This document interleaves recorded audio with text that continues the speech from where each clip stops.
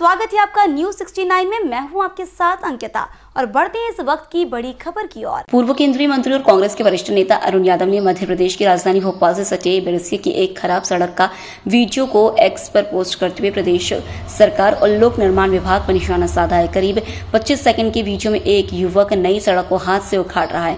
पूर्व केंद्रीय मंत्री अरुण यादव के पोस्ट पर मध्य प्रदेश के लोक निर्माण मंत्री राकेश सिंह का भी अब बयान सामने आया है। मंत्री राकेश सिंह ने कहा कि वीडियो के आधार पर संबंधित स्थल पर लोक निर्माण विभाग की टीम को भेजकर जाँच करवाई जा रही है।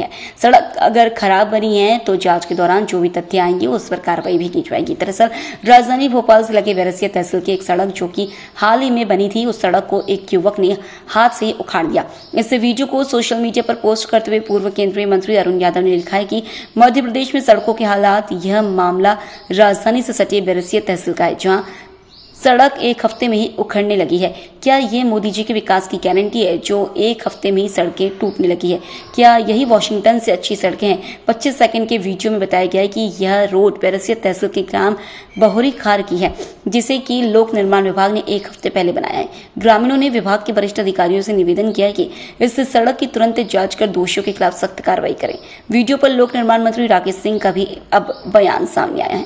जबलपुर में मीडिया से बात करते हुए कहा कि मंत्री राकेश सिंह ने कहा कि सोशल मीडिया में किसी ने एक वीडियो वायरल किया था, उसमें कोई अरुण यादव नाम के व्यक्ति हैं। उन्होंने कोई सड़क के विषय में जानकारी दी है। लोक निर्माण मंत्री राकेश सिंह ने कहा कि सिर्फ़ वीडियो देखकर इसकी पुष्टि नहीं की जा सकती है, इसलिए तुरंत ही अधिकारियों को निर्देश दिए गए कि मौके पर जाए। आज जाँच दल मौके पर गया हुआ है और उनकी रिपोर्ट के आधार पर कार्रवाई की जा रही है। जबलपुर से न्यूज़ सिक्सटी नाइन के वाजिद खान की रिपोर्ट।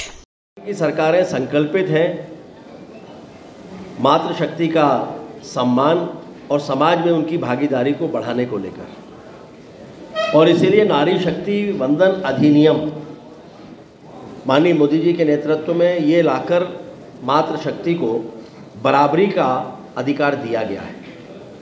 लखपति दीदी ड्रोन दीदी, उज्ज्वला योजना मातृवंदना योजना, सुकन्या समृद्धि योजना, प्रधानमंत्री आवास योजना, इन सब में स्वामित्व का जो अधिकार मिला है उसके कारण मातृशक्ति के आत्मविश्वास में भी वृद्धि हुई है।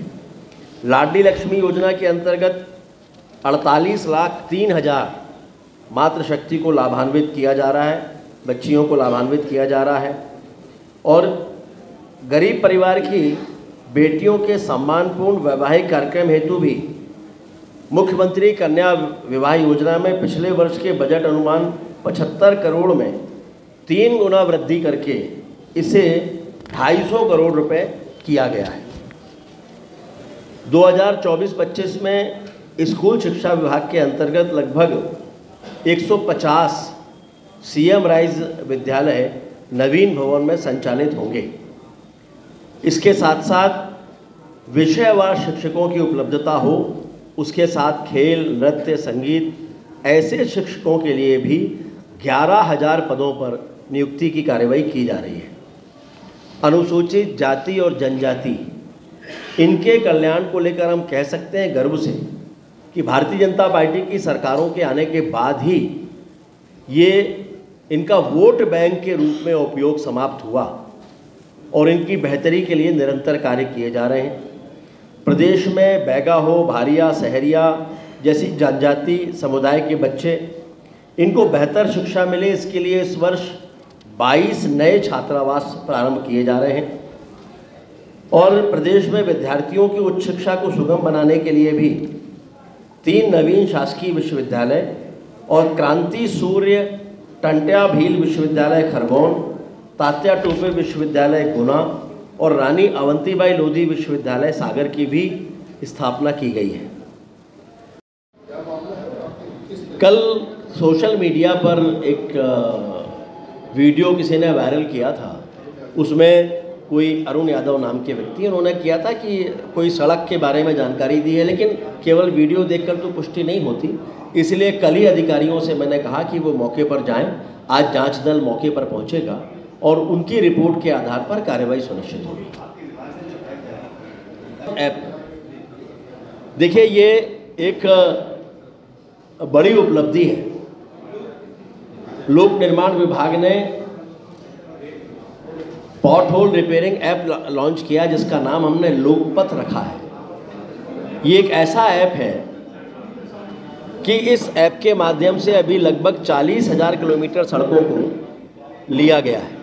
आगे आने वाले समय में इसको और बढ़ा रहे हैं। अभी ये गूगल पर है गूगल से डाउनलोड होगा। अब ये आईओएस पर भी ला रहे हैं। थोड़े दिनों में एप्पल पे भी लोग इसको डाउनलोड कर सकेंगे। तो अभी भी गूगल के माध्यम से कर सकते हैं, लेकिन बाकी प्लेटफॉर्म पर भी ये आ जाएगा। तो इसके माध्यम से जहाँ भी सड़क में गड्ढा है पीडब्ल्यूडी की सड़क है वो, उस पर उस ऐप से कोई फ़ोटो लेगा, फ़ोटो लेके ऐप पे डाउनलोड करेगा। वो फ़ोटो सीधे, चूँकि वो फ़ोटो जियो टैग्ड फ़ोटो होगी, सीधे वो संबंधित अधिकारी तक जाएगी। उस अधिकारी की ज़िम्मेदारी है कि सात दिन के भीतर वो उसको रिपेयर करके उसकी फ़ोटो वापस से ऐप में डाले। और जैसे ही वो फ़ोटो ऐप में डालेगा तो वो शिकायतकर्ता तक भी पहुंचेगी और ऐप के डैशबोर्ड में भी रहेगी। इसके माध्यम से कोशिश की है, ये एक बड़ी चुनौती है। आमतौर पर ऐसी चुनौतियाँ हाथ में ली नहीं जाती हैं, लेकिन ये प्रदेश की जनता के साथ बेहतर समन्वय विभाग का हो, सरकार का हो, और एक जिम्मेदार सरकार के रूप में जब सरकार काम कर रही है तो सारे विभागों की भी ज़िम्मेदारी है और लोक निर्माण विभाग की ज़िम्मेदारी विशेष रूप से है। तो जनता को भी ये लगे कि उसके शिकायतों पर कार्यवाही हो रही है और विभाग भी उत्तरदायी दिखे इस दृष्टि से ये ऐप लॉन्च किया है। इस खबर पर आपकी क्या है राय, हमें कमेंट सेक्शन में ज़रूर बताएँ। तब तक के लिए धन्यवाद।